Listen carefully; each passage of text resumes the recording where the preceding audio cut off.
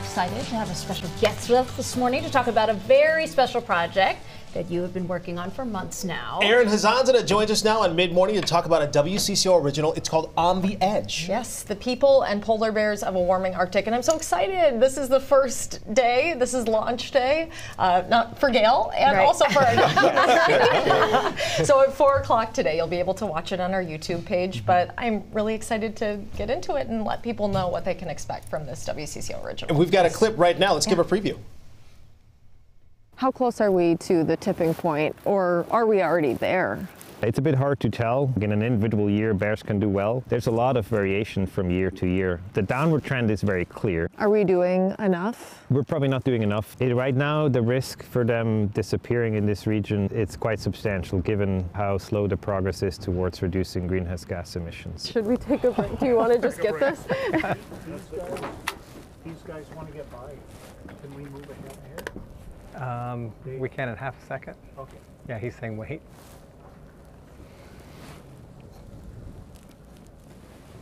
Yeah, we can't move now. It's right down here. Oh, Yeah, I we're didn't going it. anywhere. No. That's what we're waiting for.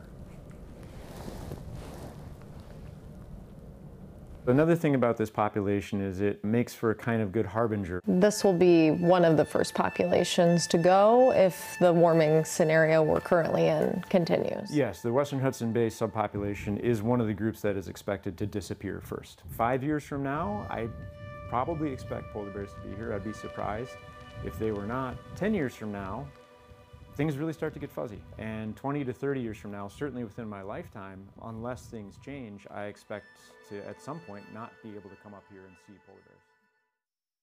So, Erin, this is just a short clip in a you know 45 minute or so documentary that you have produced.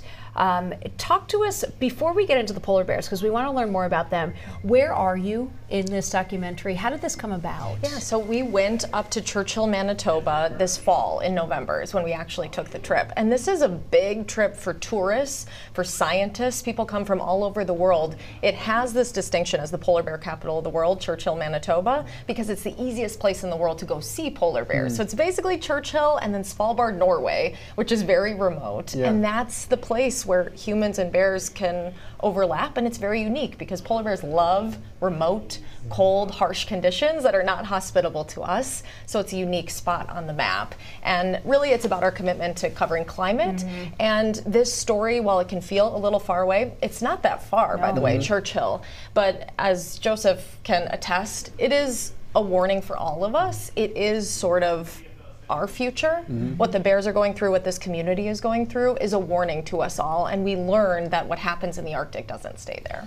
I'm curious to know how many polar bears, because we saw you polar bears in that clip there. Yes. How many polar bears did you actually see ah. during your excursion when you were out there? Like, was it just normal, common to see polar bears? Yeah. Well, you learn when you land. I said, "Well, what am I? What do I need to know? Yeah. I've never been walking around a town where I might be able to run into a polar bear, which can happen." And they tell you, "Don't walk alone." You know, try to stay close to your hotel or wherever Yeah. you're going at night. You always walk in pairs. You take wide turns. Um, so it's interesting to be in a place where people live alongside bears. Um, but yeah, we probably saw 30 out on the tundra. Oh, wow, okay. So the one you saw there, that's when you go out on those big tundra vehicles. They're called Mm-hmm. tundra buggies. And that's really when we went out with the scientists from Polar Bears International. We probably saw 30 out in their natural habitat, which is so incredible, right? Some of us have seen them at a zoo. Yeah. But to see them just living their daily life was was the most incredible part. We saw three um, in town, I guess, like right, outside of town. We drove out to kind of the outskirts. So probably 30, 40 bears. That's wild. I'm wondering. Oh, go for it. Well, I mean, we just I've seen so many clips, but it's the first time I've seen that one. Do all Yes. of the polar bears like do they approach you with curiosity like that? So I mean, it well, how active depends. is it? It depends. So sometimes, if they've been in that area for a long time, they're used to people. They're used to those vehicles, and they're not as curious. What happened this year is a little unusual. There were some from the South Bay. This is the Hudson Bay, Mm-hmm. edge of the Arctic, uh, connects to the Arctic. Um, some of the southern bears got washed up on the west side. So they were explaining some of the more curious bears might be new to the area, and they're kind of like. What is this thing? I better Yeah. go check it out. So that's what you saw there. wheel. Okay. Wh- Why Churchill? And I, I also wonder, do does, mm-hmm. do the locals know not to feed them? I mean, know Yes. that this is part of their natural habitat. What is it about this spot that all of these bears have come to for all these years? Yeah, so it's sort of a spot on the map that just so happens to be in the path of this polar bear migration. Ah. So what they're doing is they are waiting for the ice to form on the Hudson Bay. And when it's frozen, that's when they take to the ice and they go back to their homes on the sea ice. That's the journey. That is where they want to be. Here's why.